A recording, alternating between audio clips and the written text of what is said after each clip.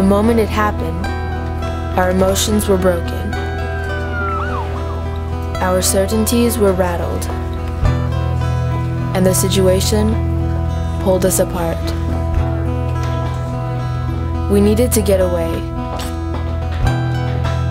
Away from it all.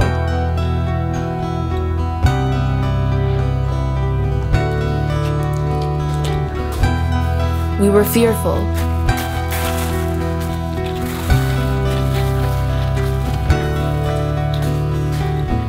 We were hopeless.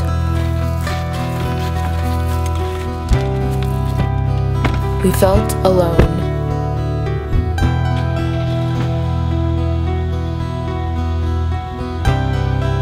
But then it happened. We realized we were not the only ones feeling this. We discovered that the best place to be is here, together, making now matter.